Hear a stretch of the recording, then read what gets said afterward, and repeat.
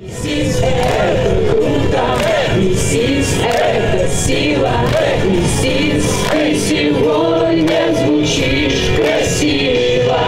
Красиво, современно, солидно. Открытие нового студенческого общежития – знаковое и очень важное событие для старооскольцев. Поздравить Новоселов приехал губернатор Белгородской области Евгений Савченко. В своей приветственной речи он поблагодарил ректора НИТУ МИСИСа Левтину Черникову, инициатора и главного исполнителя этого проекта. Также Евгений Степанович отметил, что между правительством региона, компанией «Металлоинвест» и вузом подписано соглашение, которое предусматривает создание научно-технологического и производственного кластера. Его смысл заключается в том, чтобы МИСИС стал центром образования новых инновационных предприятий. Таким образом, чтобы Курская магнитная аномалия у нас со временем превратилась в инновационную магнитно-металлургическую аномалию. Имма. Имма, да? От КМА к. А Има – это сакральное. Кто интересуется этим словом, я потом могу вам сказать, что оно означает. Это очень сакральное слово. Поэтому всем спасибо и всех призываю дальше объединиться вот компанию «Металлинвест». Ну, мы не будем в стороне вокруг Алевтины Анатольевны для того, чтобы вот в ближайшие считанные годы вместе с администрацией, естественно, городского округа Александра Николаевича создать современный научно-технологический производственный кластер лучший в России. С праздником вас! Преддверии 40-летнего юбилея СТИ Тумисис открытие общежития является прекрасным подарком для студентов и преподавателей. Ведь сюда приезжают абитуриенты из Белгородской, Воронежской, Курской, Липецкой и многих других областей России и стран СНГ. Первый заместитель генерального директора, директор по производству компании «Металлоинвест», депутат Белгородской областной думы Андрей Угаров вспомнил, с чего все начиналось. Филиал МИСИСа в городе Старый Оскол начинался с рождения Московского комбината. Его делали для подготовки кадров в первую очередь МК. Но филиал МИСИСа, это МИСИС, это вообще ведущий институт. И институт готовит очень сильных специалистов.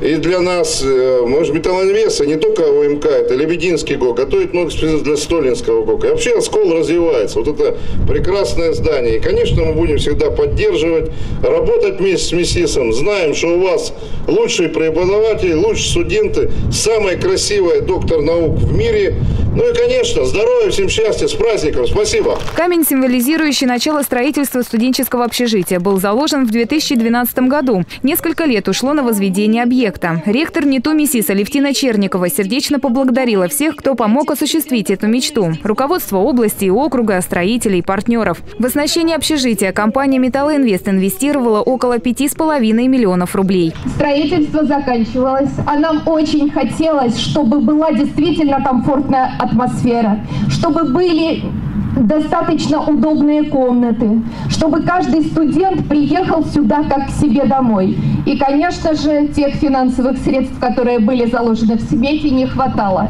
Куда мы обращаемся в таких случаях? Компания «Металлоинвест». И в этот раз мы снова пришли к вам. И если вы зайдете к нам в комнаты, увидите те комнаты, которые мы оборудовали для занятий наших студентов, вы будете удивлены, потому что это все сделано красиво и с любовью. Современное общежитие. Директор строительной компании «Норильчанин» Александр Давыденко передал председателю студсовета института Евгении Ткачевой символический ключ от нового общежития. Лица студенческого сообщества хочется поблагодарить всех причастных к постройке данного замечательного общежития.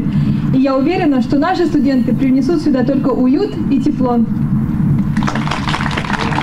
Почетное право перерезать красную ленточку предоставили Евгению Савченко, Андрею Варичеву, Андрею Угарову, Юлии Мазановой, Алевтине Черниковой, Василию Расолову, представителям студенческого совета. Вначале гости осмотрели прекрасную благоустроенную территорию общежития. В это время на спортивных площадках шли товарищеские встречи между командами МИСИСа и Оскольского политехнического колледжа.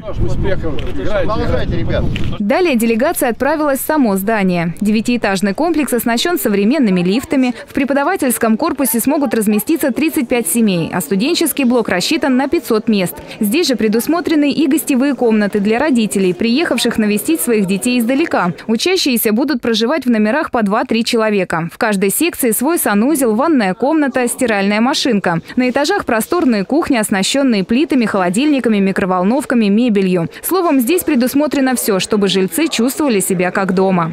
Тут очень хорошо, все удобства есть по современнее. И тут площадки спортивные еще плюс, можно развлек, развлекать, на свободное время работать, можно на, на стадионе, там, на волейбольные, баскетбольные, все удобства есть. Мне очень понравилась общага новая.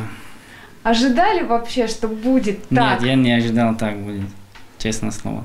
Очень большая, очень светлое общежитие новое, а, с удобной мебелью. А, будет удобно проводить время после занятий на наших спортивных площадках. Есть баскетбольная, волейбольная площадка, есть место, где можно поиграть в шахматы, в шашки, есть где, место, где покататься на велосипеде. Все условия созданы для приятного обучения. В завершение почетные гости оставили свои автографы на памятном сувенире, который теперь будет украшать музей вуза и напоминать об этом знаменательном дне. А с 1 сентября здесь начнется настоящая студенческая жизнь, наполненная учебой, научной деятельностью, спортом и творчеством.